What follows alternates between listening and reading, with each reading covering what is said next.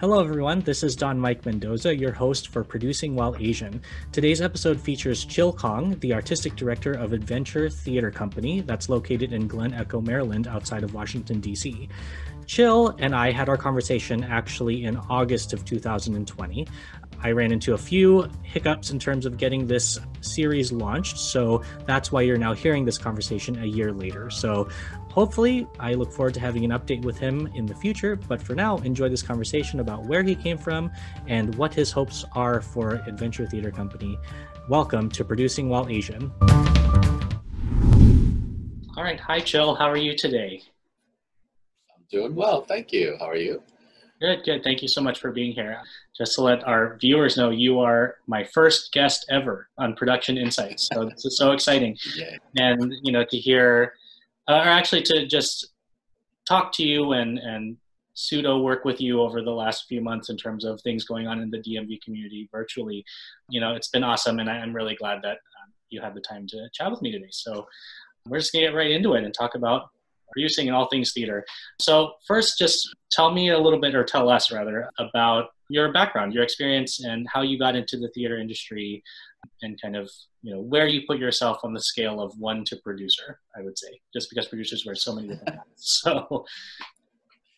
Yeah, that's actually a very funny question. I started out in the producerial side as it evolved, but I really started out early on as a singer, as a jazz vocalist uh, did you know through high school, and so singing was my tap into America, my tap into English, and I learned really the English language through song, which oddly enough led me into musical theater because I love the storytelling uh, aspect of, of musical theater, and was headed into a career in advertising, and in my first year as a professional, I was working actually in Richmond, Virginia at the time. A friend of mine went on an audition for one of the summer parks. Um, I've been doing theme parks all you know through college. One of the best, by the way, one of the best jobs ever as a performer, uh, especially if you're young going through uh, the parks. So I I went and I realized, uh, uh, oddly enough, I got the gig. The the person I went to with didn't, but it just made me think about where I want to be and what I want to do with my life. And one of the great awakenings of that part of the process was um, I realized I needed more training. Like I, I can't, I don't know what I'm doing. I'm, I just was up here, you know, singing and dancing, but it's not like I had any form, formal training. So I had auditioned for different conservatories and was uh, was fortunate to get a full ride scholarship to the Boston Conservatory over in Boston. Uh, it's now called uh, Boston Conservatory at Berklee, uh, but it is in Boston. And so that's kind of led me down towards this path to theater. Uh, and actually, the my first directorial class that I took, that was really about what theater directing was, that opened my eyes to a whole new world and, and was my final aha moment. Because I like performing, but and it and I enjoyed tapping into the, the process of performing, but but I knew there was something missing. And so once I tapped into directing, it was like a whole other world opened up the second I embraced that, everything else started really happening very quickly. I, I uh, founded a theater company uh, out in Boston. I worked a lot. I was one of the few that was able to leave school and work their way, uh, you know, paid for all of their school loans through acting, which led me to then to San Diego to help run a giant project at the San Diego Repertory Theater. That led me to my own theater company up in Seattle. I was really young at the time, 28, made a lot of mistakes, a lot of mistakes.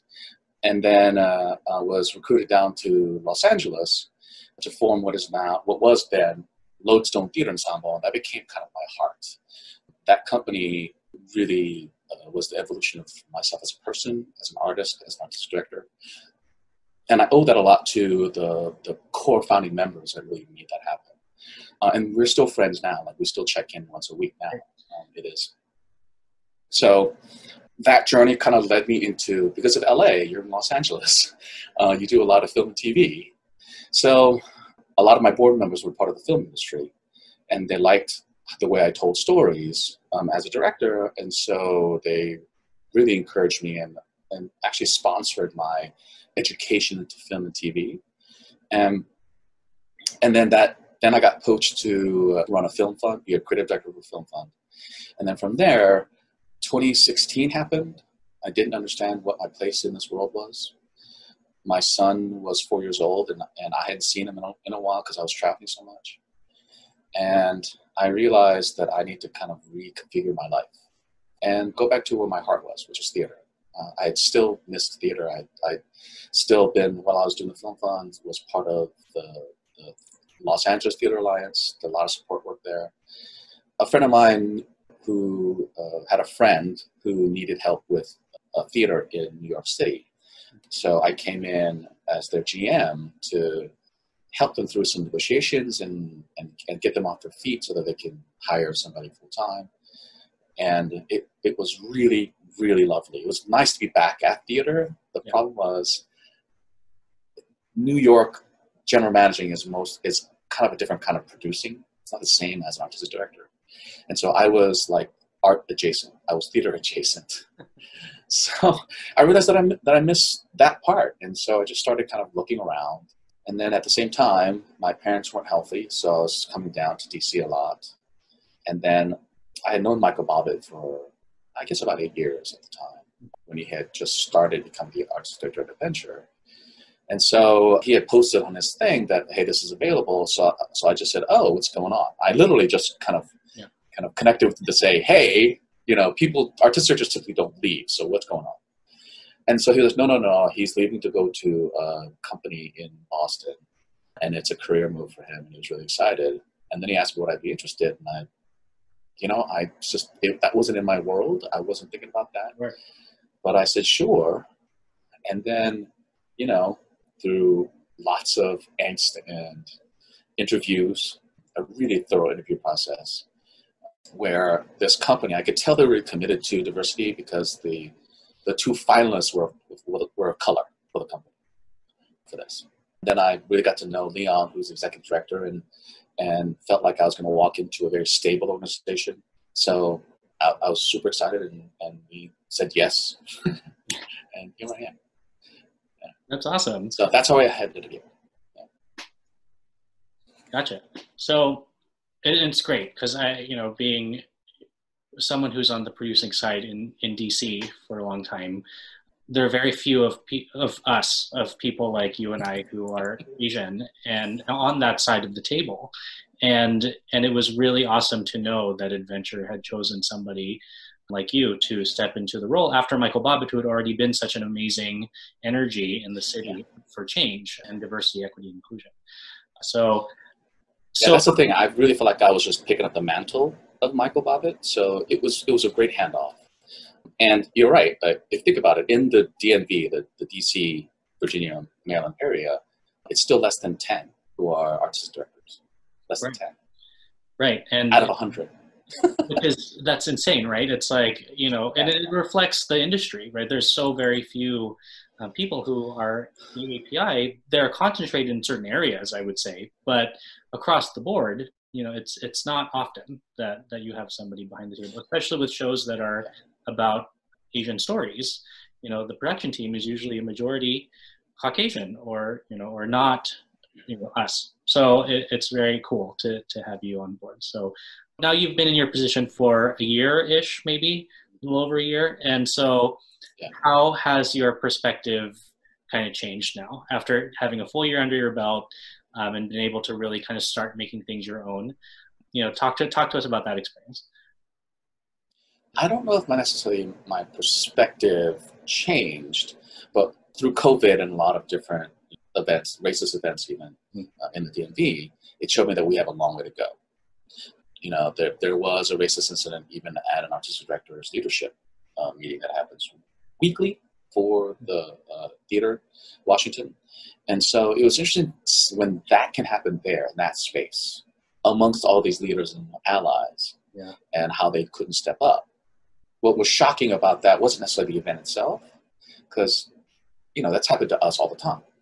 Right. We're the ones that have to suck it up at every meeting. We are the ones that have to play nice and and ha ha ha, it's a joke. You know, we have to take that all the time. But in these room full of leaders who put out statements, right? That they are allies and advocates, you know, who went out there uh, and publicly put on their website saying that we're here for change. And so, you know, in that meeting, I called bullshit on everybody. Called it. Yeah. Because, you know, it's like all these people who say that they're for change, they, they weren't there. They weren't there for, the, for, for that moment. They were at the moment when they could have shown that they are an ally. They did not. So what that tells me too is that actually, unfortunately, you know, I'm, I'm an equal. You know, we're equals in this room. Right. That means what's, what happens to those people who are not equals? What happens in those rooms? So it was a stunning, stunning awakening because, you know, I had kind of assumed because I'm not part of the community. We all know each other. We, we, we're all for each other. It's not true. Racism exists. And a lot of these companies and a lot of these leaders have a long way to go. That was one. The other part is though is that despite that, the community is fairly tight. Mm-hmm. What I love is the freelance community has really bonded together. These are talented artists, and a lot of them, most of you know, a large chunk of them, people of color, who have really understood that they have power. These theaters now, these you know, white allied theater companies, need these freelancers now. They need them. So you know, more power to these folks who can now walk around and go no. Mm-hmm. They, you know, the power of no exists now, uh, and I hope they embrace it. and I hope they take it. So I feel like there's a change coming, and what it's what it's coming from is from the the the, the folks who are less empowered mm-hmm. to to make take that risk uh, are finally taking that risk and forcing the people who are empowered to make change make change. And that's awesome. And, and it's also always like pinnacle times like we're experiencing right now in terms of racial justice, social economic justice, things like that. You're right. It comes out in these times because people realize that the limits that were placed upon them sometimes aren't real. you know what I mean? Like they're they're made up by the people that have the power. You know, they they they make people perceive that they can't break these barriers that were created in not in their favor. Well, what's and this is something that is going to happen that I think people have to be aware of. It's it's it because it's going to go against the fallacy of network, right? Mm-hmm. This idea that my friends, I trust my friends to do these things. My friends tend to look more like me, but you know, they, these white leaders. Mm-hmm. And what happens is those friends get more opportunities to fail because they're friends. And what's going to happen now is these these these friends who have who could count on their friends to get them work are now going to have to go up against actual talented people and be be equal to them or better. They will finally be to the scale. And this is where people are like well no you, are just you're just trying to you know throw a person of color in there but they don't deserve it. And i'm, and I'm like no no no. Yeah. Let me be clear. The people who typically haven't deserved the position are are the are the people who got their jobs because they're uh, because of the friendship network. And that's the thing that that I think was interesting is the breakup of the friendship net- network that is starting to happen. Because if if I work with black indigenous people of color, but my friends are white, who am I going to hire? Who? Right. Exactly. Who am I going to hire? I'm going to go to the comfort zone and hire my friends who are also happen to be artists. And and because you are relying on a lot of money, your your your own name or whatever, lending to that, and so that risk analysis used to favor friendship, right? Mm-hmm. But because of the world we're in, it no longer favors the friendship, and the pushback that's going to happen are the are the mediocre white straight males. That's what's going to happen. Let's be clear.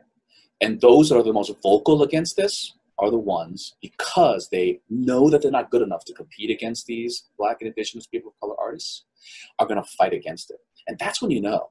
When the, the, ones that are the loudest are probably the ones that understand that they're not good enough to be in the same room. Hmm. remember that. it's all of y'all out there remember that.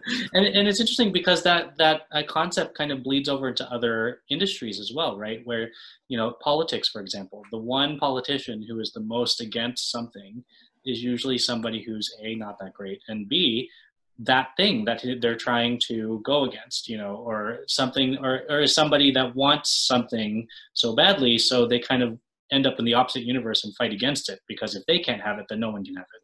You know it's yeah. So it's, yeah, I, I, think one of the one of the most tragic ones of those is uh, are these closeted gay conservatives who fight against their own life, and then you know, thirty years later, come out and want acceptance. And right. Ah, it's too late. It, it, it, it literally just happened with someone like three months ago. I think it was. You know, um, in DC, former former congressman. But anyway, but that that's very prevalent in theater. It's uh, people that create limits, especially producers, create limits in the industry because they have some kind of chip on their shoulder about it, or and they're not talking about it. So the way they act out is they they do. Well, so well, also let's be clear: the majority of the producers that are not part of the big like 20 theater companies right mm-hmm. these smaller theater companies a lot of them they because they feel like they have some kind of you know uh, privilege or gumption or whatever you call it decided they wanted to create their own theater company and sometimes a lot of it is because they couldn't get work anywhere else right right, right. so uh, so you have to remember that and so when a lot of these folks push back it's it, you you start to once you start questioning their uh, the reasons why they push back it starts becoming clearer and clearer that how you battle them. Because it's because at that point it's not about like equality at that point. It's about their inability to believe in their own craft hmm. right? Because at the end of the day if all these people say well we want the best no you don't what you're picking is the best that's your friends right that's the difference. And it's interesting because a lot of people don't. That's so subconscious and so built in to all of us, and, and on any on either side of the table, that it, you know I would say actors do it between each other too. Like who who do they tell about auditions? You know, because actors can be very competitive. You know, I, I, hate to say that, but I've done it. You know, I used to be an actor where I'm like, oh, I can tell this person about this audition, but not that person, because it's like, you know, either it's a non-compete or it's like you know somebody who i you know selfishly know might not get it you know things like that so Want to hear more about your favorite TV shows and movies that are on countless streaming services? Then listen to Up Next with your new favorite hosts, me, Kristen Aviles, and me, Christina Walter. Every other week, we'll highlight one genre, but two movies or TV shows one old and one new. We'll let you know what's hot and what's not from your favorite or least favorite streaming services. And be sure to stay tuned to the end of each episode where we shout out an artist whose name you should know for their talent in the industry. So follow us to stay up to date with your favorite hosts from Up Next, a part of the Press Play Podcast Network. But uh, in producing, it's really interesting because you you you see I mean, it's hard to explain. Like, and, and, let me know if you can have a better, or if you have a de- better definition of it. I feel like when producers are competing with each other, it's it's a game of like, in a weird way, who's more popular? Like, who do you know? Who like how many more people do you know at what level? And you know how much if you have a if you have your own production company, like how much reputation can you get for your own company based on who you're collaborating with. And so I, it's such, for me, I haven't been able to define that feeling, but I, I see it, that amorphous feeling. I see it happening a lot, but I don't know what that's called. So I don't know if you can define that better for me from your travels and experiences in, in this field. I, I used to call that the hat rack effect, hmm. but it comes from younger producers and producers who are looking to make their mark they tend to hold a hat rack around them and take people's hats, right? So mm-hmm. that they can show people all these hats that I'm that I'm working with. And and sure, I've done that. I, guilty. It helps with recognition. It helps with popularity. It helps with getting things greenlit for film and TV, and that's all true. But as you get older and more experienced, you realize that you need to build a community no matter what, so that the call that you make isn't uh, oh i haven't talked to you. Who what? You want what? You know what i mean? Like it can't be a surprise. And that's why it's like uh, that, that's why you have to be so careful about how and who you build relationships with and what you do. If, if you first ask is inequitable, right, as a producer, then there's something wrong with the way you're doing things, especially if it feels inequitable. You know, like the worst is do me favors for free. This is also why I've, I've consciously made a big thing about no matter what, people get paid to do something with me. It doesn't matter what it is; they're going to get paid if they're going to work. And mostly, I can't I can't afford like what I want to afford you know people's value. So I tell them that. I said I am usually pretty straight up about that, and, and say I value you more than what I can pay you, uh, but this is what I can pay you. Um, I hope that there's a chance for me later on that I can pay you more, but this is a building block. But that's why it's important that I am straight up and, and pretty upfront about that. Always. I get what you mean by popularity contests, especially if you are a new producer in the area or a new institution, right? Like I have the benefit of having experience, but also attached to a you know 71 year old institution. So I have a lot of benefits uh, because of that, and we're a large institution on top of that. So when I reach out, it, it's it sadly does mean something, but honestly, it shouldn't. I mean, I haven't. If I haven't made a relationship with you, then it's on me, not on the freelancers or. Mm-hmm. And honestly, I'm really, I'm at the end of the day, I'm really nobody until I prove to you that I that I'm of value to you, right? Right. Um, it goes back to the friends network of you know, unless I already know who you are, you know, it's kind of yeah. Start with, not starting zero. With, but also making sure it's also making sure that I that I'm setting expectations of respect, mm-hmm. because because look, I don't expect people to return my phone calls. I mean, who the heck am I? I, I I'm nobody here. What I hope is that I am out there enough so that people see that I'm trying. And in my efforts to try to do better and, and, uh, and, and try to make sure that people feel welcome and respected in, in, in our space, that because of that, it allows me to have a larger kind of reach. Right? Mm-hmm. But but that's earned. It is not deserved. It is not, you know, you gotta earn it. You gotta earn it every day. So, you know, I hope that I'm doing that every day. Yeah. And it's interesting when you when you notice people who kind of they they started there they started with the the building reputation and building that trust with the community and then all of a sudden well not all of a sudden but in some people you see the switch from building that community to feeling they deserve things and it doesn't happen often but there there are a handful of people that i've seen over my time where i'm like oh they changed. You know they became entitled is the is the word. And and i i believe you and i've talked about this before in our bigger group meetings but in this industry in this field nobody is entitled to anything. It's it's all earned relationships and it's all you know trust building because it, with every new project it's always a new journey it's never you know you don't base the last project of, or the new project off of the last project unless you're specifically talking about like were you a terrible person last time? You know, it, it's it's all its own its own thing.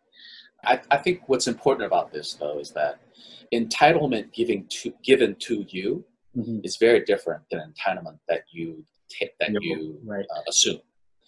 And I hope that eventually I build a community that constantly approves of what I'm doing and shows us that, shows me that, by accepting roles and doing these things and developing pieces with me and, and because knowing that i'm trying to build something with them that it's a long-term relationship. And so uh, that i hope i do get but you know i, I think in many ways it, everything is relational right everything is is it's no different than you and a partner mm-hmm. and you and a community member who is your partner right uh, how you define that partnership it's still a partnership and the worst thing, the thing, the thing that can destroy any partnership is disdain.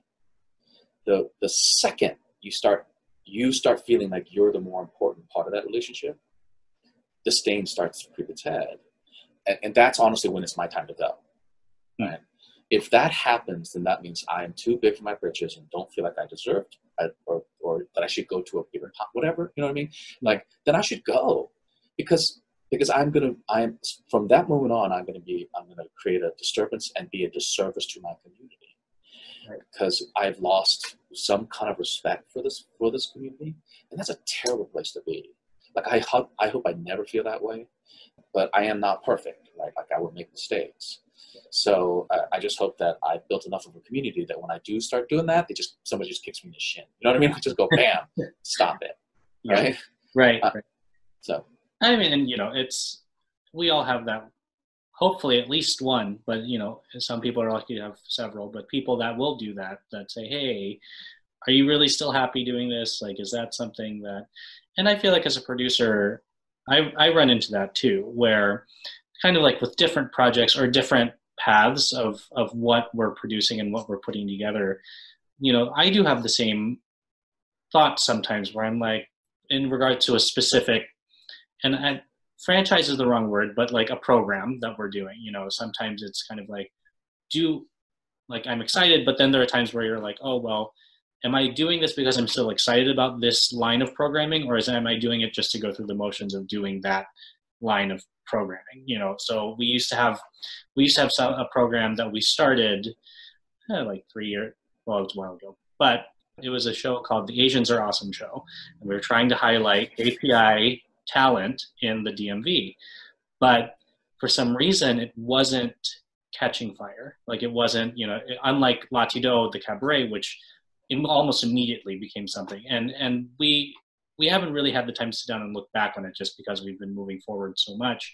But that was something that I always reflect on. It was like we eventually stopped after three of them because we we learned that in that time, you know, we learned that the talent was excited about it but the community wasn't that excited about it. You know, they, we didn't have a lot of people being like, "Oh, I totally want to go there." And and I think our purpose in starting it was to sh- to show the community that if you're looking for AAPI actors or performers, here's one resource you could go to just to see them perform. Like it's not even a casting call; it's you're casually going to see them perform. But you know, it didn't catch. But you know, there are also other factors, like in terms of where it fell in our season, where it fell with other stuff. But you know, in that sense, like I, I really wanted it to work, but it just didn't. So we stopped. And so, not that I resented it, but I would say it was kind of that lesson of you of letting go of like realizing like okay well time to move on before i made myself hate it you know and and i know that that's a hard limit sometimes with things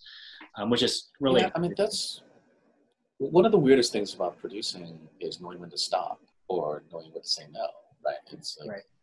that in itself is, is a skill and you'll always get it wrong right, right. You'll, you'll always stop too soon or you'll start too late or you know but uh, the, the most important part of that is that you've allowed yourself the gift of failure. Right? It's funny because um, I. Um, well, talk to me about I, talk to me about that, like in your in your experience, like something that's related to that. Yeah, I mean, I've the the there are times when I really felt like I've failed. I failed as either a person or as a producer or as a director. The hard part in that is that you know, my goal has always been like, I got to tell the story, and, it, and it's and I've taken it on because it's an important story to tell, right? Well, no matter what it is, and it, it's important in this time. And if I fail to tell that story, really, really, it's it impacts me in ways that are visceral and spiritual, right? And this yeah. is all true for all artists. Mm-hmm. But the difference is when you fail a group of people and not a story, right? It's very different. And so you know, uh, one of my biggest failures were probably was probably up in Seattle when I just could not get the community behind me for some reason. I mean, uh, there were reasons. Like I was incredibly arrogant. I was 28, uh, running a, a, large theater company, and felt like I had all the answers, and did a couple of really stupid things, which is like I changed just haphazardly changed the logo, uh, not even thinking about it and then found out a little later that it was like this designer who was a homegrown hero who has become this you know this artist. I just stomped on you know. Was you know what i mean? Like right. it's and that was just one piece. So like i'd done all these little mistakes just out of pure arrogance.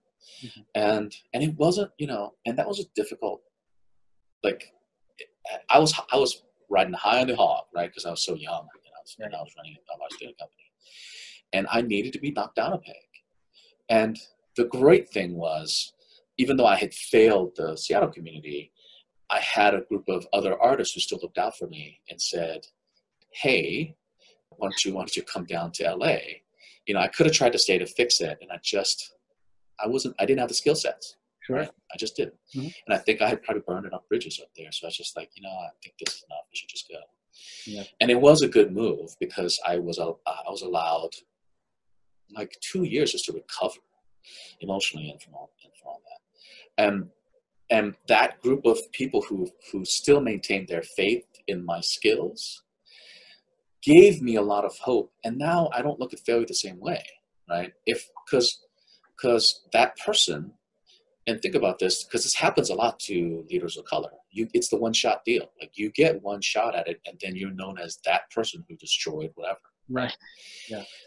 So i was really thankful that even though i left the company in seattle uh, actually fairly financially healthy like I, I had burned enough bridges because of my stupidity and arrogance that i needed to leave and what was great is that i was embraced by a community down in la and, and allowed me to try to fix the my, my arrogance.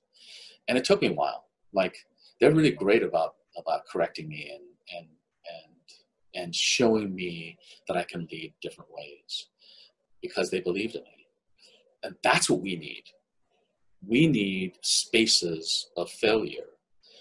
Especially because because think about this. In this friendship network of white people and their friends, they're allowed to fail all the time. You know, we're they're white directors. And Yeah, more than- spectacular too. Like not just like a, oh I mistyped this word, like spectacular failures and and they're fine. You know? and they're called back again because they're friends and and that's the thing is that we need to to to allow people the room for failure especially black indigenous people of color Mhm. because the key to this of course is that we build them a support network so that they learn from it and they're continually growing uh, because you know only through that can we get better.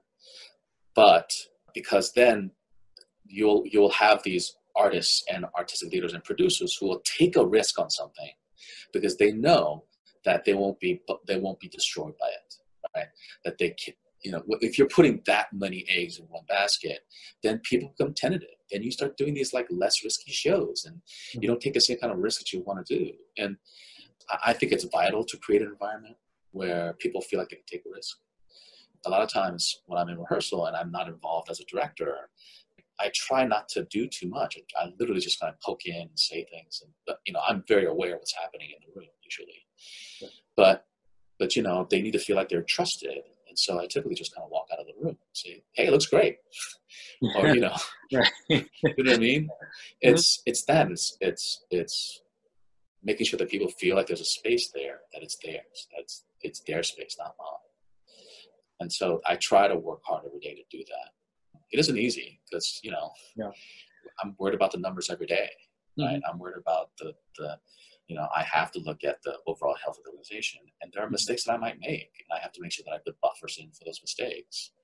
But I also have a fairly smart and really supportive community that are excited about the kind of risks that I'm going to take, and uh, you know, and acknowledge that we're going to take the risks, and we're you know still willing to jump on board. So So the next question is kind of twofold and relates to what we just were talking about. So speaking of productions and, and working with other people and, and kind of creating that community or that space of, of being able to fail. Talk to me about first talk to me a little bit about how you're building how you build your production teams, especially with Adventure Theater's initiative that goes bef- before this current situation in this country and in the theater community you know the we see you movement. Like talk to me about that how how you Yeah. form your team and following those kind of values that are built into adventure. And then where do you see the the the change coming? Like and and if you could call out a specific and you might not have an answer to this part but if you could call out a specific i don't want to say job but line of work in theater that's severely lacking in the diversity department and there are a lot you know when, when you're forming your team where do you find your biggest challenges in terms of finding the specific professional you want? So i know that was a lot but so start with the first one in terms of like building your team Well- and in this time. one of the big reasons, and there was like like a list of five things that I wanted, and uh, oddly enough, Adventure hit all five. One of them is it had an EDI equity, diversity, and inclusion in place. Mhm. And this is again, this is the, the the work that Michael Bobbitt did, right? So they've been working on this for three years. Right? So the board was already when I arrived, it was already uh, what forty percent um, Black Indigenous people of color, which is more than any board that I that I think I've seen in the DMV. So if, if it's not the one of the best, if it's not the best, it's one of the best in, in uh, as as board diversity. The staff, even though it's a small staff, it's still and it's still less than half, but it's like in the in uh, in the forty percent range too. So you know, I, I was surprised by the, the amount of diversity in the organization itself. Now, with that caveat, is that I'm the only person of color in leadership, right? Mm-hmm. So yes, so that's the kind of that's the world that I'm living in.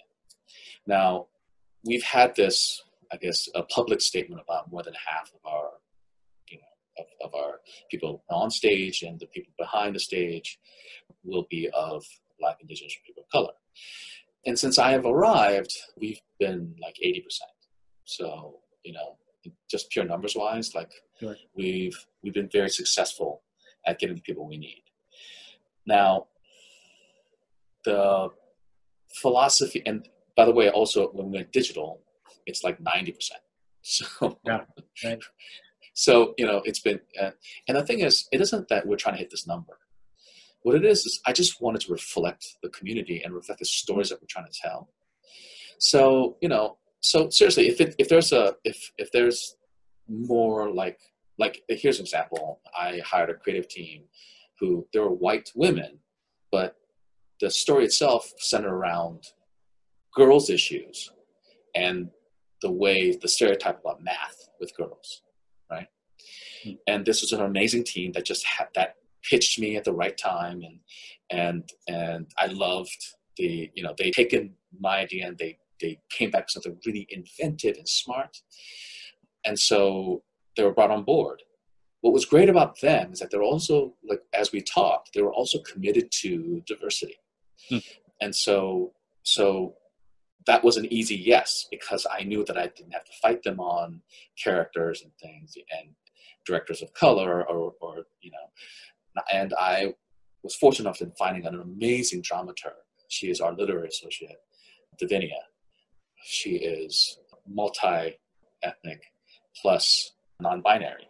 So it is an interesting, like we have already within our team a fairly diverse voice that is reflecting and sounding and, and creating our own community, right? Like our friendship base. Mhm. And so it is, it is, it is allowing us to tap into a different way in this, what is very specifically gender specific story with different eyes and different colors of the world, right? Mhm.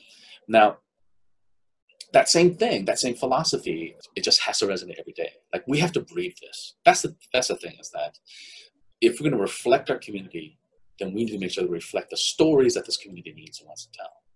And that and you know, it still comes from my perspective, right? It still it still has because I'm the quote unquote artist director, it's still kind of funneled through me. Mhm. And that's what I'm trying to change. Because I may not think something looks good, right? But uh, somebody else that says, no, I know this type of story and I know what they're doing. And so I have to trust my community to say, this is a great story, you should do it, and go, okay, let's do it, right? That's what I'm trying to build in this EDI kind of mesh and making sure that I am, I, that I don't become a veto power. Do you know what I mean? Like, Yeah. because because the veto feels like well the architecture said no. And what it needs to feel like is well the the the artistic team wants to find out what works for you. That's different way mindset. Uh, again that includes a way to look at who represents that story. Mhm. and it is vital that we get the right people who are who are representing the story right? Now it some of sometimes it's not clear right and so what happens to a lot of those is that the, the, the, the default storytelling then becomes white. And at that point is when what we've consciously decided is that if it's not clear, then we're going to default something else. Right. That we're going to default the story to something else. and I think that's what shifted the way who is representing the stories, right? Mm-hmm. That's the biggest shift. Now, what do I think is the, is the problem? And I mean, I wouldn't say you know not necessarily a problem, but like the biggest challenge, you know, in terms of of yeah. heading toward that goal and that change, you know. Look, it, and that could I be. It could be across the board, you know, either one. No, I, I will say because this is what I'm the way I, I, look at that question is more about uh, through adventure mm-hmm. and and what are the, the the funnels of talent, right? Because um, I was I was asked when I first got here that I should talk to some of these bigger theater companies just to talk to them and build relations stuff like that. And and after the first three or four meetings, I was like, there's nothing, you know, I I like these people, but they do nothing for adventure. There's nothing you know what I mean? Like it's no. it is it is an unbalanced relationship anyway. And so I was just like, I don't need to talk to them. Why do I need to talk to them? What I need to do is support the funnel. I need to go out there and talk to these small theater companies and figure out who they like. How do I support them as they develop in their smaller theater companies so that they can come to us in a different way? And so uh, it, it is more about approaching this as, as uh, like if I'm going to be the big brother, I need to start acting like a really good big brother, right? Yeah. I need to help my younger siblings and making sure that they grow with me, right? So, uh, with that in mind, you know, there isn't any specific area that that has the most challenge. It is, it is mostly this is what I'm finding. That I guess the biggest challenge is the, the, the decision makers' assumptions about who's available. Yes. That's what I think is the challenge. Yes. Absolutely. Because anybody who says to me they can't find this person, I'm calling bullshit every time. Every time. And and, and I and I'm gonna tell you right now, if any artist director has the guts to say that to my face, I will have a rap battle with them that second to talk about a list of whoever that they haven't even talked to yet. I will. And I've only been here for a year. So, and I mean everything from designers to sound design, light, uh, you know, prep, props, puppetry, like they they exist. And and it isn't they're not looking hard enough. It's that their perception of what they expect or want is very different than what they're presenting. And some of these people aren't going to come to them because they don't trust you.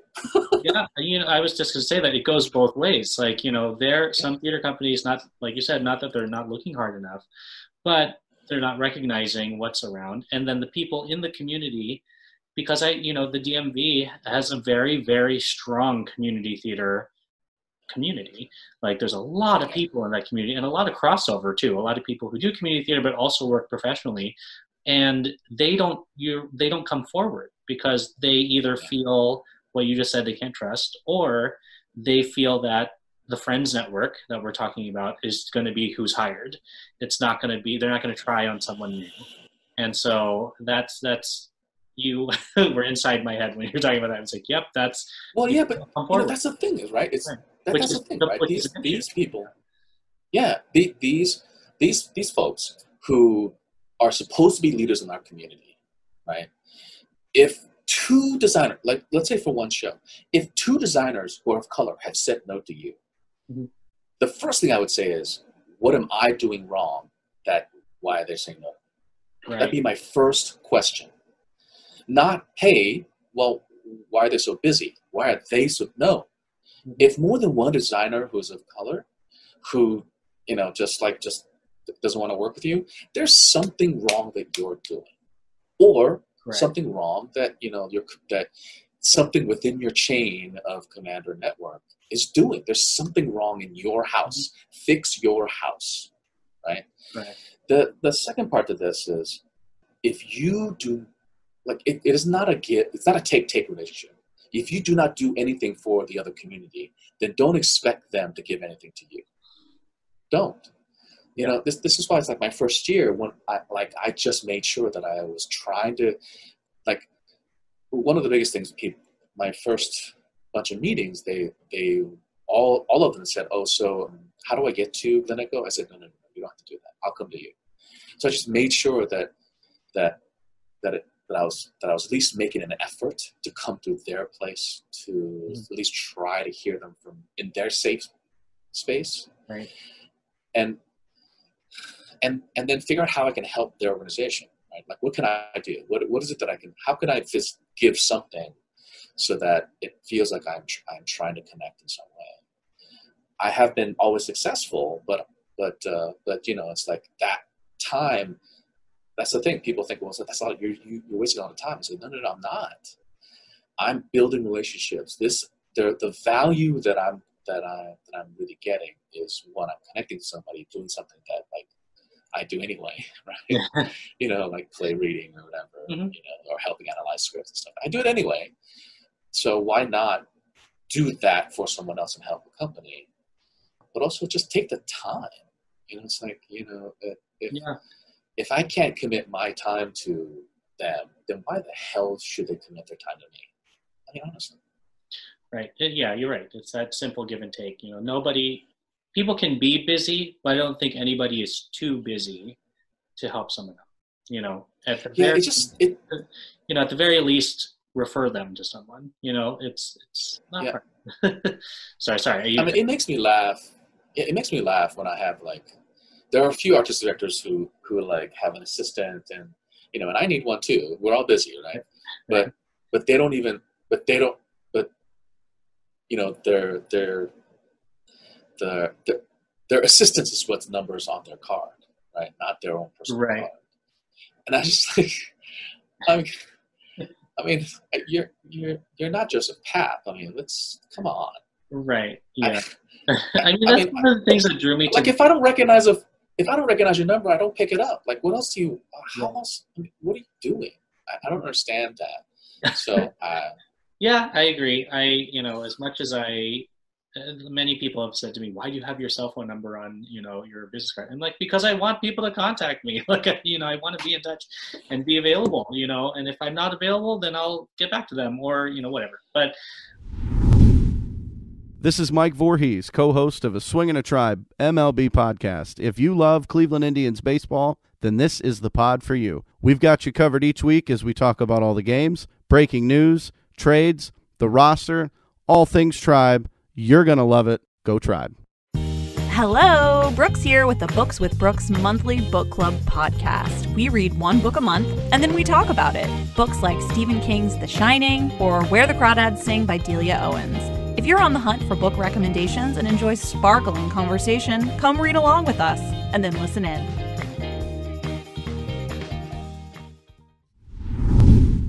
So, the reason why I'm having these conversations, and again, thank you so much for being part of it, is that I never knew that I wanted to be a producer, right? I, I went to theater school and I was like, I'm going to be the next Jose Llana. It's going to be awesome. And who's our good friend. But it's like, I, I wanted that. Like, I wanted to be a Broadway star. And, and then I learned the realities of being a PI in theater and the limits that we have in terms of working. You know, you either and, and I'm generalizing because this is this is just my experience, but like I was seeing that I either had to be in one of the big five, which was like Miss Saigon, The King and I, you know, Flower Drum Song, um, South Pacific, Pacific Overtures. That was like, or go into opera. But like that's what I was seeing, and so I didn't. And I, you know, I thank thank the universe every day for my co-founder Reggie Kubiko, who came in and he's 20 years older than me and went through the same experience 20 years prior and was like, you need to create your own opportunities. And so that's how I, long story short, ended up becoming more a producer than a performer. And I I started this production insights because there is no and the world out there that's watching can correct me if I'm wrong, but there's there is no university for producing like the closest I got to it was the Commercial Theater Institute in New York, and I did the production in- intensive over a weekend. They have a 14 week option, but I'm a proud alumni of that program. But you know, you don't go to theater school to major in producing. You know, there's no, there, to my knowledge, there's there's no theater school that provides that track. You can go into production, like stage managing or things like that, but no one's there to teach you producing unless you really touch on arts management, which you know that that touches producing. But producing is such an amorphous word and field anyway, you know. So this is my attempt at providing that resource for people who are thinking about producing, don't know what it means, want to see people like them if they're like me, who are like, well, when I think about producing, I just think of powerful white men. okay, you know, that's, that's really, you know, the, the ignorant opinion that I had 10 years ago. And so that's why this exists. So in that spirit, these chats always end up in a, what piece of advice would you give young people? But, uh, you know, what piece of advice have you received that didn't quite pan out the way it should have, but in like, given that experience, how would you modify that piece of advice so that it works better? This is hard because um, it, it, one, one it, it's, it's, two parts to this, right? Sure. The first part is uh, how, there are multiple ways you can define producing, mm-hmm. and you know, at the end of the day, that's why a lot of artistic directors are called producing artistic directors, and even producers aren't really called producers in the same way like in on Broadway, right? Right. So it it, do, it does depend on what you mean by that. Now, for me, so in the sense of theater, live theater, you know that that's let's keep it in that bubble. I would say, since that's what majority sure. What that's still what we're talking about, though. Yeah, right. Producing live theater, uh, there, there, there's the there are the people who do the the physical production, which is putting a show together, getting it on a date, doing the public, you know, the the things that make the show go, right? And then there's things that make the show happen. Two different things. Right. So it depends on what you mean by that. The things that make the the thing, the producing that makes the thing go is part of arts administration. It's part of stage management. It's part of production management. Mm-hmm. It's part of that. But the thing that get that that starts it, that inspires it, that's a whole other thing. That's the money part. That's mm-hmm. you know. So it depends.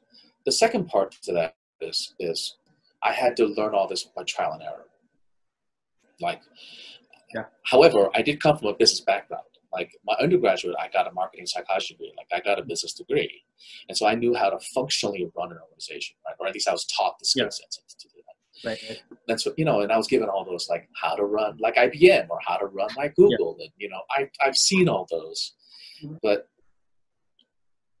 the best that I the the thing that I learned the, the, the best was actually through my discussions, oddly enough, about philosophy and about Sun Tzu, Lao Tzu, right? Uh, and Lao Tzu, there's there's it's it's kind of the Bruce Lee way of thinking for theater, which is when he says "be like water," and in many ways, the the best definition of a really good producer is is the are the spokes of the wheel, right? Mm-hmm. The the wheel, the people on the outside of the wheel, they don't know that there are things holding the wheel together, right?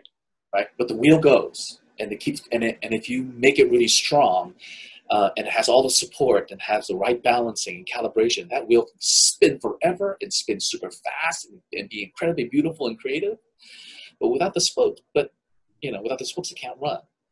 And but the best leaders are the ones where the people the wheels come at the end and go look what we did. Mm-hmm. and not turn around and go look what the spokes did for us Right. And I think that's when that's when produce when great producers and great producing happens when the hands-on creative people and the, and the talent on the front lines are the ones who are taking all the credit and may not necessarily you know know that you're the you're responsible for a lot of it but because of of the community that you built because of the stabilization that you that you've given the foundation support there were this magic was about to happen. So I guess the best guidance to that was that maybe that didn't work out, but I would augment is that when I first started, somebody always told me, make sure people know that I knew what I was doing. Mm-hmm. Like I, I was told that, you know, that whole like, you know, you can't wave the flag if they don't think that you can hold the, the flag, right? And I was like, anybody can hold a flag. Cares about that? yeah. so what, yeah. So honestly, what I learned is is isn't that is that that I'm better served when I actually don't know what I'm doing and mm-hmm. tell people, and then but but reach out and say, let's figure this out together. Mm-hmm. Right? So I guess if there, if there's that, Uh, but honestly, I can't remember who told me that. I mean, that's I, it doesn't matter, but I, I think that's that's Long time ago. It doesn't matter who it was, but you know, I, I agree. I would say my my most memorable producing experiences have been when we all worked together, and it wasn't me dictating to people what should happen. You know, because there is that. You know, where somebody hires a producer because they're like, "What do I do?" But you know, which is fine. There's nothing wrong with that. But you know, I would say some of the best experience I've had is when everybody has a piece of the pie and we're all working toward that same same production goal together, um, which is awesome. Yeah, it's- yeah. It's funny. I started out when I first started out, and this is probably the best analogy, is that I started out like a like like I felt building a theater company was like building a boat, right? That I would jump out and go, "Let's build this boat! Come on, everybody!" And I'd have to design the blueprint of the boat, and I would and I would you know point fingers and get everything done. To you know that's how organizations were. I, I felt like function that that I'm the one that was in charge, and I got it to go. As I grew older, I realized, um, no, I was like, no, no, no. Let's build a community, and we're getting a team, and we're, all, and these specialists will come out. And they figure out the different parts of the boat, but I'm still in charge, and I'm still the captain. We're going over there. right? Right. I got older, and I'm like, no, that's not what it is. It's like let's just get a group of people, and we, and we work together to build this boat, and we come up with ideas of how to make it through the process, and then we get in there, and then we go out to the sea, right? I was like, no, there's no boat. That's when I when I started making actual evolution. It's like there's no boat. Yeah. There's no boat. There's just a destination. We can build whatever we want. Mhm. It doesn't have to be a boat. But let's figure and you know, that's where we're gonna go.